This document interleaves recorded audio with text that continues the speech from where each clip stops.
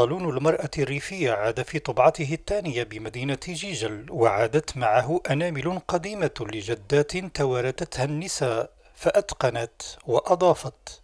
صور جميلة. كانت ثقافية ولا إبداعات؟ آه، نسوية حاجة تفرح. لقينا جمعية اللي تضم 70 امرأة في منطقة كما هذه في ظروف اللي فاتت تاع البلاد كما هذه. وإن شاء الله نتمنى منكم كوسائل الإعلام ثمنوا هذه المبادرات وهذه الجهود تاع المرأة خاصة المرأة الريفية.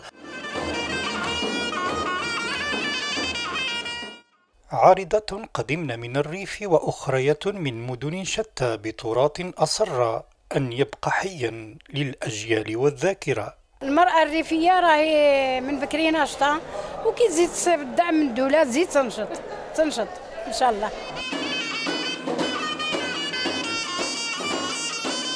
لمسة أنثى وبصمة نساء ورائحة ماض بدا جميلا ينافس الحاضر. نايضة عليه.